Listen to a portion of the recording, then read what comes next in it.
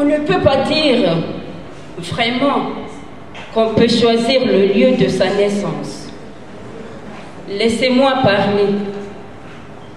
Mon pays, autrefois havre de paix, de vérité, de lumière, de savoir, de réconciliation.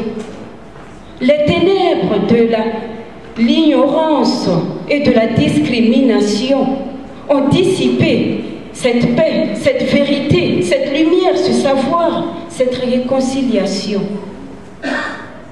Laissez-moi parler. Je suis née dans un pays, à une époque, dans un contexte. Je me souviens des éclats de rire de mes sœurs, leurs chants au clair de lune. Je n'ai pas souvenance de mes sœurs, recorquevillées sur elles-mêmes, au fond de la case, le visage vide sans expression. Je me souviens de mes sœurs, torse nu, vierges intactes, courant sous le soleil, riant les pieds dans le sable chaud.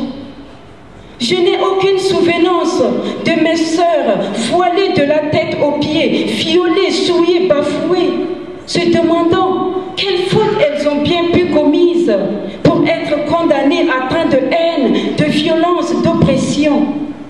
C'est bien là la pire des peines que de ne savoir pourquoi sans haine, sans amour, nos cœurs ont tant de peine. Laissez-moi parler. Quand je regarde, rien n'a changé, mais tout est différent. Un président noir rêve de Martin Luther King. J'ai compris dans ce rêve trois choses. L'amour, la justice, la paix. J'ai compris dans l'histoire du Mandé lors de Kurungafuga trois choses. L'amour, l'égalité, la fraternité, qui signifie pas de discrimination ethnique ni raciale. J'ai compris que toute vie humaine est une vie, qu'il est vrai qu'une vie apparaît à l'existence avant une autre vie, mais qu'une vie n'est ni plus ancienne ni plus respectable qu'une autre vie. Laissez-moi parler. J'ai fait un rêve.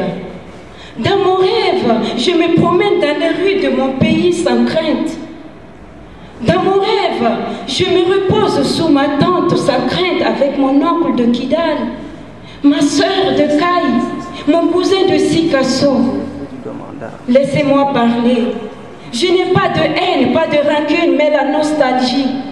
Nostalgie pour un futur dont le construit aujourd'hui.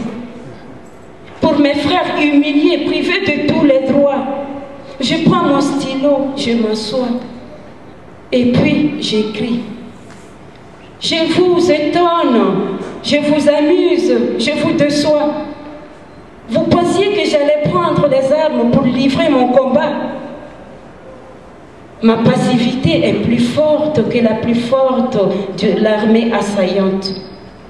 Laissez-moi parler. Je garde ma bonne humeur. Je souris. Je souris à ma vie, à la vie, à nos vies. Je veux croire à un monde meilleur. Merci.